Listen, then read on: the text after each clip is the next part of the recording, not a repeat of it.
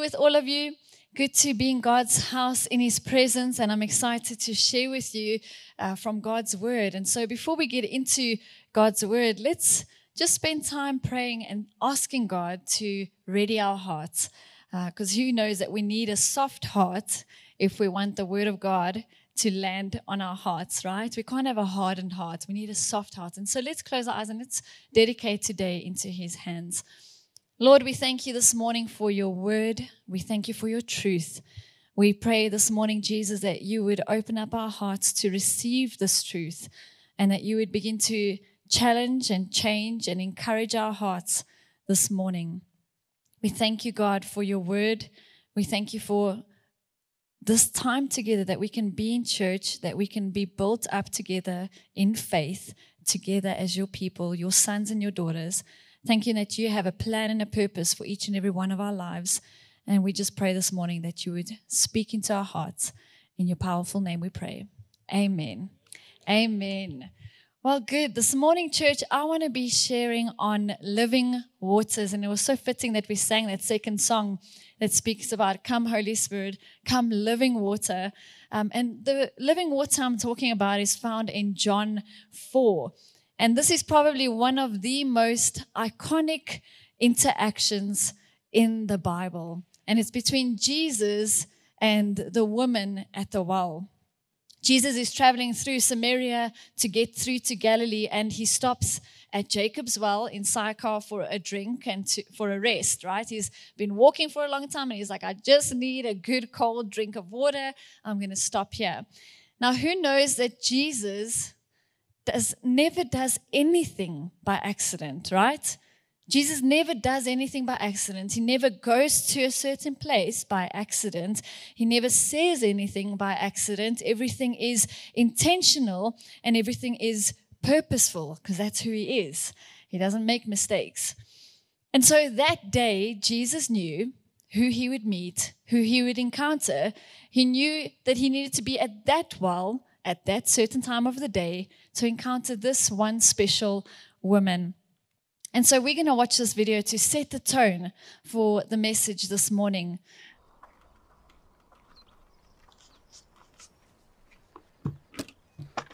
Would you give me a drink?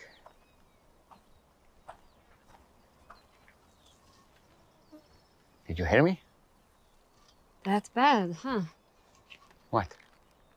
You, a Jew, ask for a drink from me, a Samaritan, and a woman.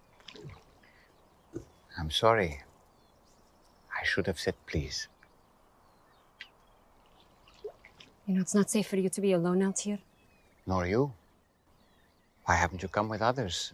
Why so late in the day? Don't women come to the wells in the, the cool of the morning? Yeah, well, none of them will be staying with me, so I have to come out now in the heat, as you have so kindly reminded me.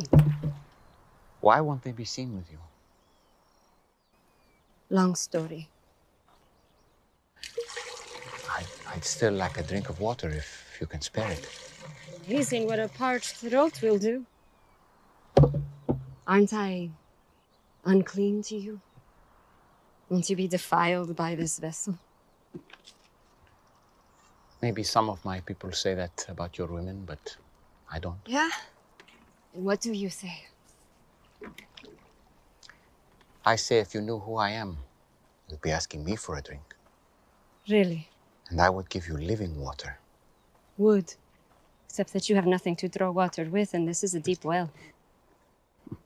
Besides, what do you need from me if you have your own supply of living water? Long story. But Jewish water is better than Samaritan water. Hmm? That's not what I said. Are you a better man than our ancestor Jacob, who dug this well? Your water is better than his? I know Jacob. And everyone who drinks this water will thirst again. But whoever drinks the water that I give him will never be thirsty again. Wouldn't that be nice? The water I give will become in a person a spring of water welling up to eternal life. Really? Yes, really. Prove it. First, go and call your husband and come back. I will show you both. I don't have a husband. You are right. You've had five husbands. And the man you're living with now is not your husband.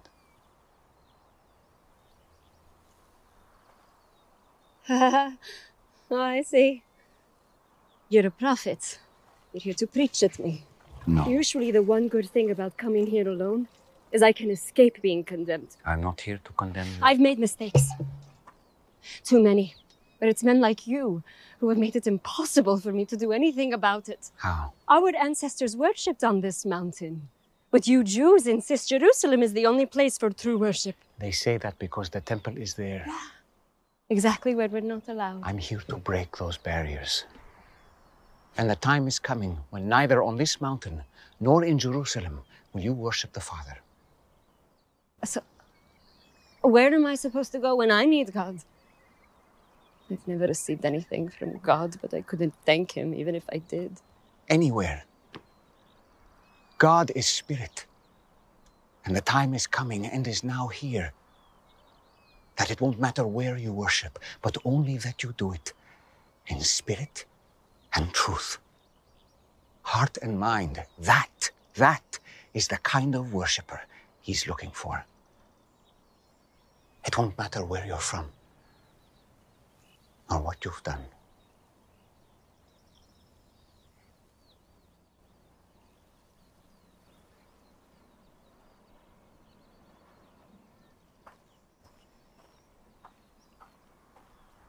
Do you believe what I'm telling you? Until the Messiah comes and explains everything and sorts this mess out, including me. I don't trust in anyone. You're wrong when you say that you've never received anything from God. This Messiah you speak of, I am He. The first one was named Ramin. You were a woman of purity was excited to be married. But he wasn't a good man. He hurt you. And it made you question marriage and even the practice of your faith. Stop it. The second was Farzad. On your wedding night, his skin smelled like oranges. And to this day, every time you pass by the oranges in the market, you feel guilty for leaving him. Because he was the only truly godly man you've been with. But you felt unworthy. Why are you doing this? I have not revealed myself to the public as the Messiah.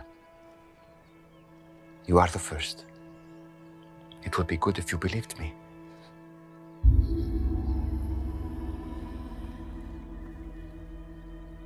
You picked the wrong person. I came to Samaria just to meet you. Do you think it's an accident that I'm I'm here in the middle of the day? I am rejected by others. I know. But not by the Messiah.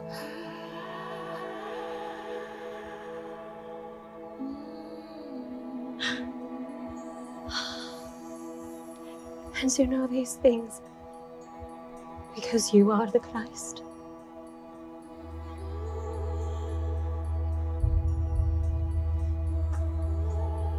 I'm going to tell everyone. I was counting on it. Spirit and truth. Spirit and truth. It won't be all about mountains or temples. Soon, just the heart. You promise.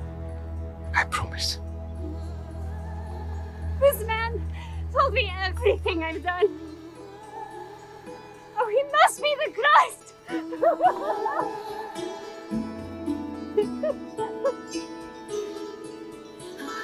Hey, wait! You what there? You forgot your um. Fancy a man who told me everything I ever did!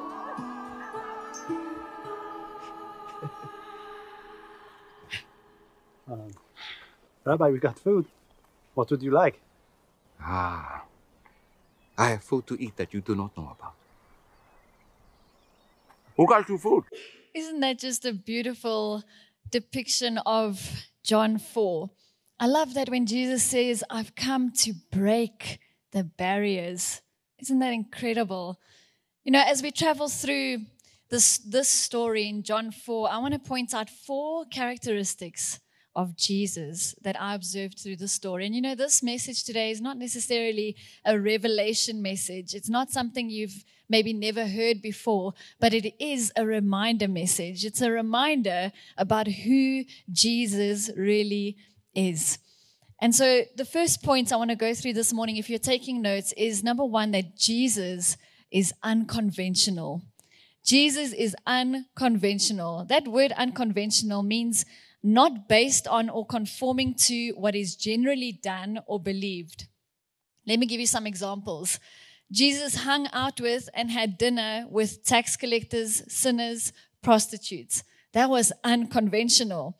He healed people on the Sabbath day, the day of rest, the day the religious leader said you're not allowed to, but he did it anyway. He forgave people their sins and claimed that he was, in fact, the Son of God. He encouraged people to love their enemies. That's unconventional. He turned over tables because people were turning his church into a marketplace. He reached out to lepers, people's with, people with infectious diseases, and he reached out to them. He touched them. He was with the outcast. He loved the unlovable, and he died on a cross for people who didn't even know him. In fact, he died on a cross for people who hated him.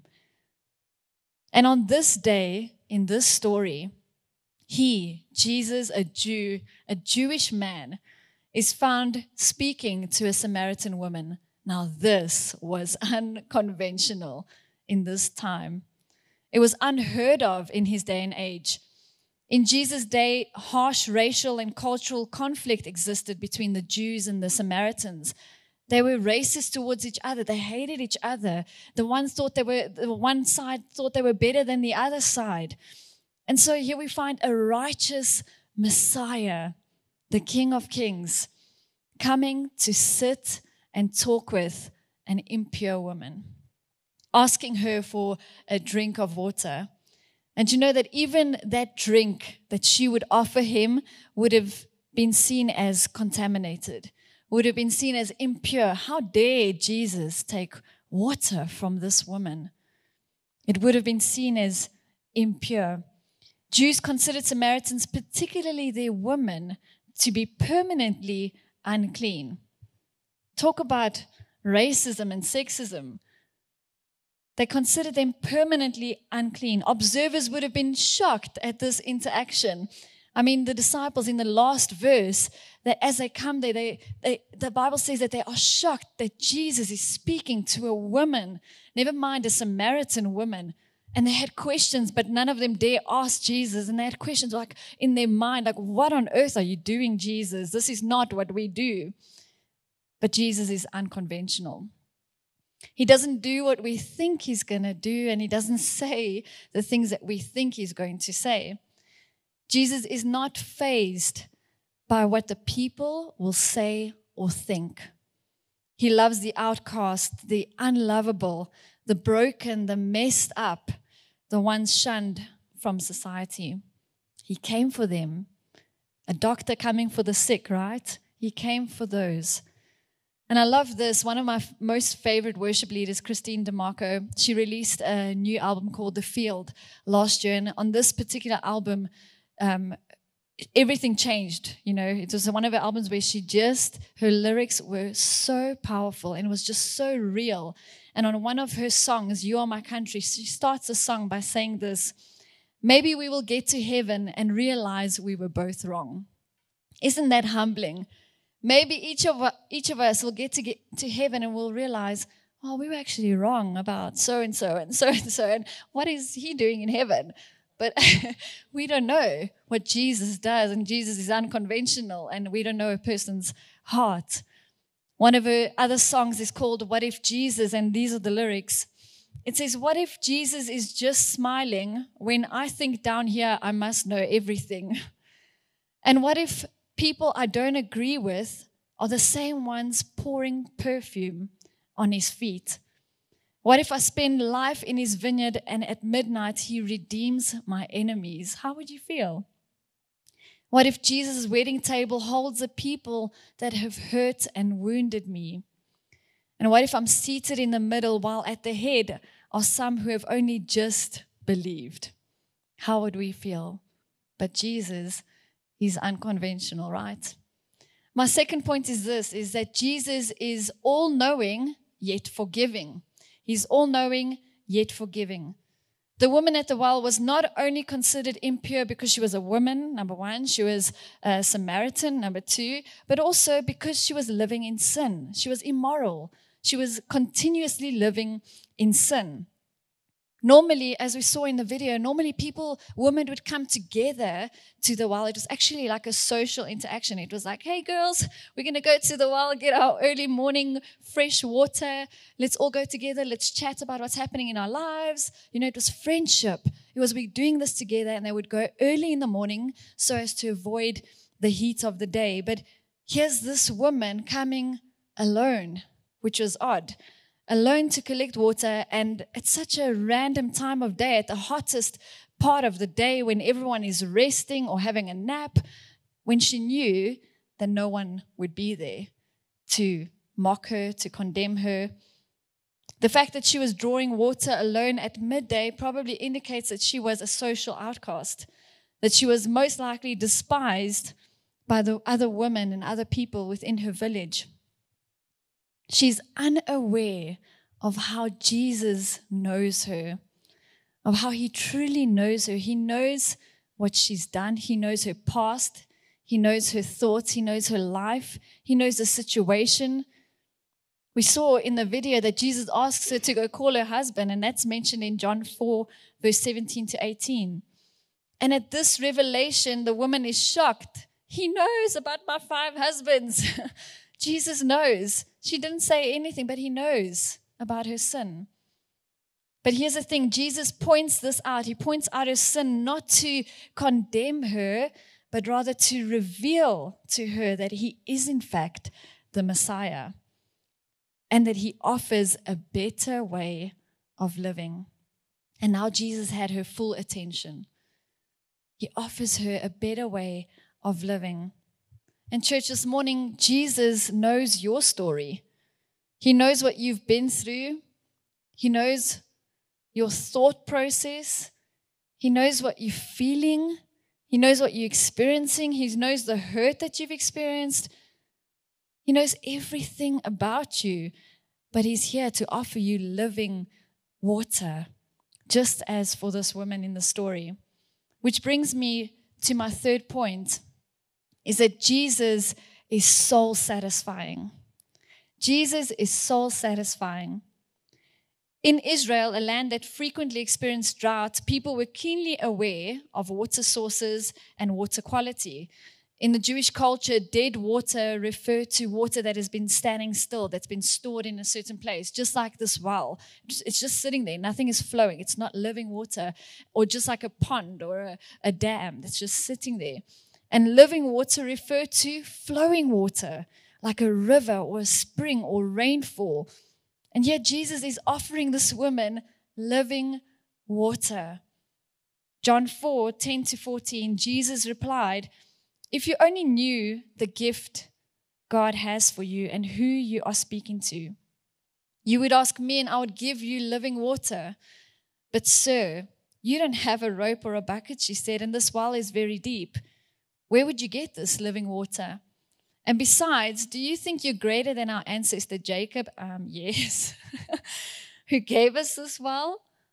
How can you offer better water than he and his sons and animals enjoyed? And Jesus replies, Anyone who drinks this water will soon become thirsty again. But those who drink the water that I give will never be thirsty again. It becomes a fresh, bubbling spring within them, giving them eternal life. So, the distinction between the dead and the living water helps explain why this Samaritan woman was so perplexed. Because in Samaria, there was no permanent river, there was no permanent like water outlet, there was living water. And so, if Jacob had to dig a well here, then who is Jesus and how could Jesus offer superior water? Well, it was because Jesus was talking about a different kind of water, not the kind she was thinking about. Jesus is the source of living water, and the, the living water that he speaks about here is his Holy Spirit, living and moving and working powerfully within our lives. Church, we can try and quench our thirst in all the many things that this world has to offer. And I'm sure many of us have tried. We can try to do it through money and power and relationships, pleasure, five husbands. we can try it all, but we will never be satisfied. Nothing in this world will ever be able to satisfy or quench our thirst or our souls only Jesus through his Holy Spirit. That void that we experience, that we feel in our hearts before we know Jesus, before we experience that living water, there's nothing on earth that could ever quench that thirst. The things in this world might temporarily make it feel like we are being satisfied, but we it cannot, it cannot do what only Jesus can do through his Holy Spirit. The Bible says that those who come to God will neither hunger nor thirst. Here's a good question for us Are our lives filled with dead water that cannot satisfy? Are we continuously searching for things in this world to satisfy the deepest part of our hearts? Because guess what? We will not find it. Only Jesus. Jesus promises living water in John 7 37 to 39. He said, it says, Jesus stood and said in a loud voice, Let anyone who's thirsty come to me and drink. Whoever believes in me, as scripture has said, rivers of living water will flow from within them. And by this he meant the Spirit, whom those who believed in him would later receive. It says, Come to Jesus. Come to Jesus if you need this living water that He offers us. He has a better life for you and I. And you know, you see in that verse it says, Let anyone who's thirsty come to me. It doesn't say, Let anyone who, if anyone's thirsty, I'll come to you. No, it says, Come to me. It takes action from our side, it takes us taking the first step. Come to me, and I will give you living water. And number four, Jesus is life changing. Jesus is life changing. We cannot experience true salvation and remain the same. We cannot meet Jesus and then still remain the same because Jesus is life changing. Then maybe we really haven't actually met Jesus if our life is still the same. Because Jesus changes who we are, He changes our desires, He changes every part of us. He's life changing. And, church, there's power in our testimony. There is power in the story of what God has done in your life, in how He's taken you out of the darkness into His wonderful light. There's power in that story when we share that with others. In this story in John 4, once Jesus revealed himself to the Samaritan woman as the Messiah, she was overjoyed. It says she dropped the water buckets. She left everything behind and she ran into the village proclaiming Jesus and saying, Come and see the man who has who knows everything that I've ever done. Come and see the man who told me everything I've ever done. The woman met a different sort of well, and she came away with a different kind of water, turning the attention of an entire village now to Jesus. Isn't that incredible? Just think of how amazing this is. When I read this story over and over, and I just thought, this is incredible. Because remember, she's the outcast. She's the woman who came alone in the dead heat of, of the day to avoid people because they were speaking about her and they didn't want to be seen with her. That's that woman, the one who went alone, who people avoided, who no one paid attention to, who no one listened to. And yet, here she is telling the entire village come and see what Jesus has done in my life. And guess what? They believed. They believed her. Isn't that incredible? John 4 39. Many Samaritans from the village believed in Jesus because the woman had said, He told me everything I ever did. The power of this woman's testimony brought many to Jesus. Jesus changes our lives, and when He does, we need to tell others. Just think of what amazing things Jesus is waiting to do in and through your life, to share your testimony with others, to tell them of the wonderful things that He's done through your life. Because many others could be saved just because you share your life change story. And we encourage people in our church to come and tell us your testimony because this is something to be celebrated. You never know how your story will impact someone's life. So come share your testimony and we'll do a video and we'll share it with our church, with all of us together because we're all going to be encouraged when we hear each other's stories and how Jesus has changed our lives. And for the saved, for those of us who already have this living water, who know Jesus, who have his spirit within us, here's a question Do we trust God for our unsaved family and friends? Or do we just, you know, I'm good. I know I'm going to heaven. I'm good with that. And just carry on with our lives and never bother to think or extend or reach out to those around us, our family, our friends or think, let me just share my story with them. Let me share my testimony. Maybe, maybe God has softened their hearts. Maybe He'll speak to them, and maybe they can experience this incredible life giving water that Jesus offers them. Jesus, the Bible says, wants everyone saved. He's not a malicious God that's like, oh, you did wrong. Oh, I can't wait to not see you in heaven. No, he's like, please come, come to me. I have a better life for you. I know what the better way to live is. I know that you belong with me in heaven. Come. That's his heart. He wants everyone saved. And so this morning, church, a reminder that Jesus is unconventional. He hangs out with people we didn't think he would. He's all knowing, yet forgiving. He knows what you've done, He knows your past. He forgives you, He calls you in, He loves you. Jesus is soul satisfying. Nothing in this world can satisfy, only Jesus. And Jesus is life changing. We cannot ever remain the same once we meet Jesus. And He wants to offer you and I a better way of living, a life that is filled and led and changed by His Spirit working within us, a life that is fully satisfied in Him and Him alone and a life that testifies to His goodness and His kindness. A life flowing with living water. Amen. Church, why don't we just for a moment, let's close our eyes. Let's just spend some time in God's presence, in prayer. Thank you, Jesus. Lord, we thank you. Thank you for your presence that is here with us.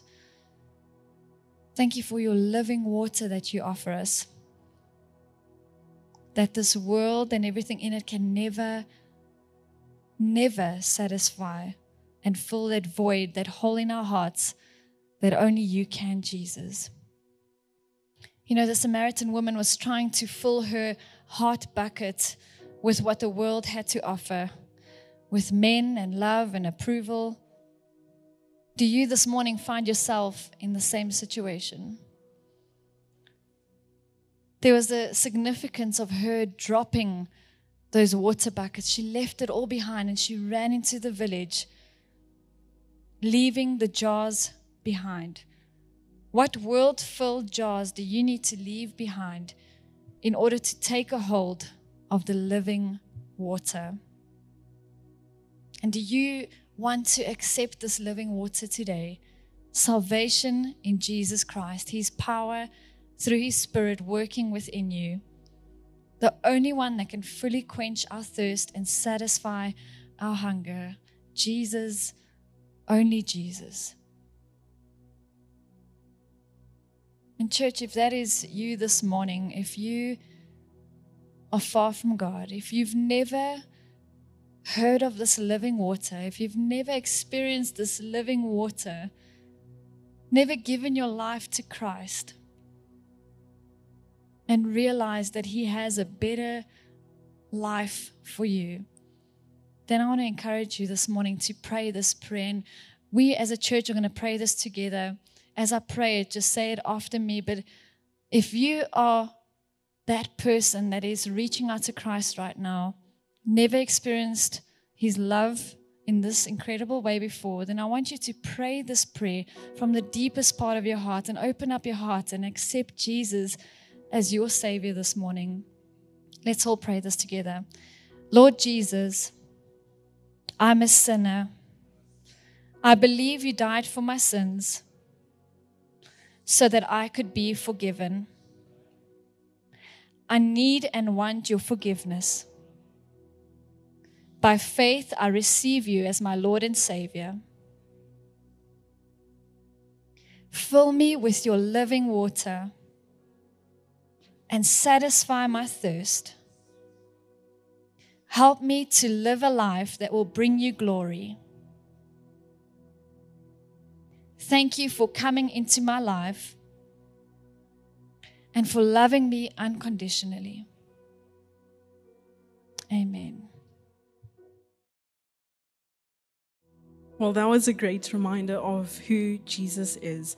And two points that stood out to me was Jesus is all knowing yet forgiving.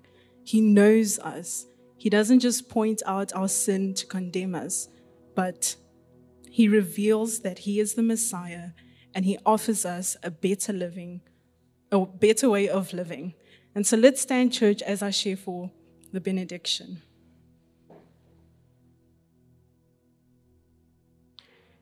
May all go well with you May you be in good health as it goes well with your soul. May the Lord of peace himself give you his peace at all times and in every situation. May the Lord be with you all. Have a great Sunday, church. Every Sunday, you and I come to worship, not just in song, but in our giving as well. And so I wanted to share with you an incredible story that we find in the book of 2 Chronicles chapter 25. So the story is King Amaziah. I think, Andrew, I'm going to forget that name. So just remember King Amazing. King Amazing. You got King, king Amazing. He is the king of Judah, and he wants to go to battle against the Edomites, some of their enemies. And so what he does is he rallies 300,000 soldiers together for an army. Can you picture 300,000? And, and King Amaziah says, It's not enough. So he goes to his neighbor Israel and he hires an extra 100,000 soldiers. And, uh, they're actually warriors, not just soldiers, the Bible says. So now he's 400,000 strong. But the Bible tells us what he paid for those extra 100,000 soldiers. It actually says it's 100 talents, or today, 3,400 kilograms of silver. Now you're thinking, what does that actually mean? I've got a silver ring. I don't know what this thing weighs. I know more or less what it's worth. But 3,400 kilograms of silver, that, that's some weight. So I actually checked yesterday, what is silver trading at? And I worked out that today, 3,400 kilograms of silver would have cost King Amaziah 35 million rand. That's what he paid for 100,000 soldiers. And then this is what we find happen. Verse 7 of chapter 25. But a man of God, God loves to interrupt oh, for good reason. But a man of God came to him and said, Your Majesty, these troops from Israel, this hundred thousand, must not march with you.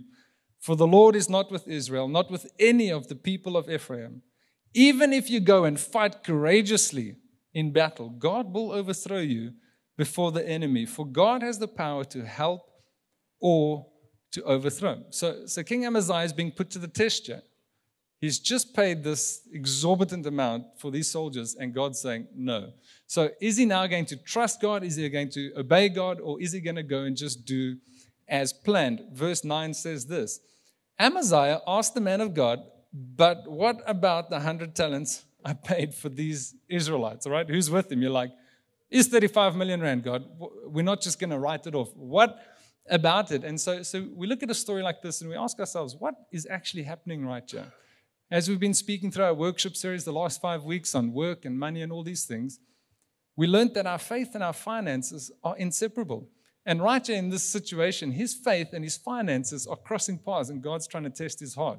Are you going to trust me? Are you going to obey me or not? And, and so he begins to reason. And he says, 35 million rand. And so we can assume that he becomes fearful, right, of writing off this kind of money. Now, we know that fear is the exact opposite of faith. And scripture says, without faith, it is impossible to please God. Now, this story, like none of us are going to battle, right? Hopefully, we never have to go there. But every day, you and I are in a different kind of a battle. In our hearts and in our minds, with the battle of money when it calls for our attentions, when it calls for us to worship it. And we've got to decide are we going to respond to God's call, God's invitation to do money His way with faith, or are we going to reason in fear? Let me encourage you with how this ends. Amaziah asked the man of God, But what about the hundred talents I paid for the Israelite troops? The man of God replied, The Lord can give you much more than that. Amen.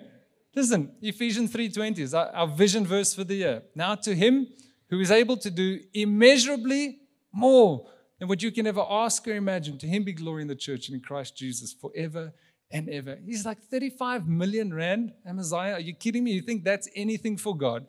What counts more is your obedience to God. Will you respond well? And I think that for us, when it comes to giving, when we wrestle, is it going to be fear based? Is it going to be faith based. And, and, you know, that was his challenge. But what is the Holy Spirit prompting you to do when it comes to giving, both in and outside the church? God can be trusted. God's not going to put us in a position to harm us. God challenges us so he can bring the best out of us. Amen?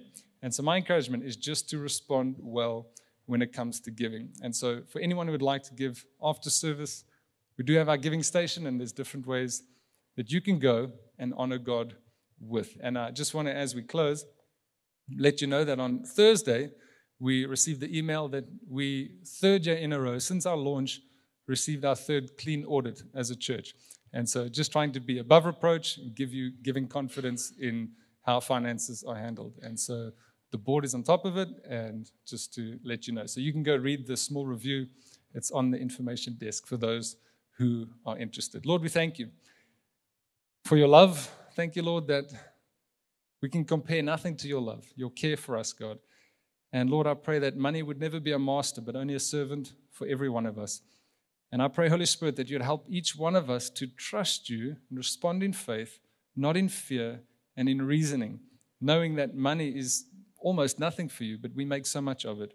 And help us to know how we can worship and please you in the making, spending, saving, and giving of your money, we pray. In Jesus' name, amen.